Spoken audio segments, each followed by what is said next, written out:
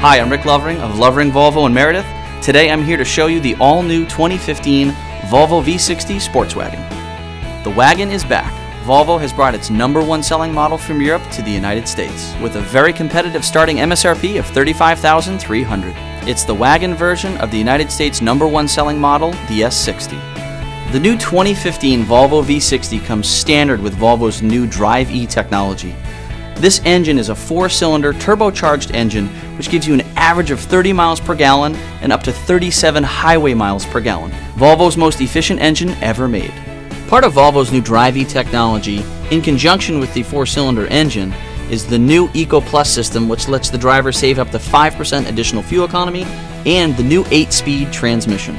Volvo's new lane keeping aid uses a vibration in the steering wheel and technology to pull the vehicle back into the lane if the driver happens to drift out of their lane. Volvo's new Park Assist aid takes over the vehicle's steering while the driver still uses the braking and throttle to parallel park the car.